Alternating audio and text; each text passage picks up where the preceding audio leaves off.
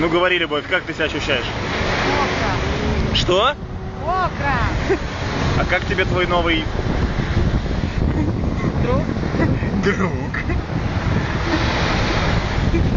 Так мы проводим время лета 2009 года.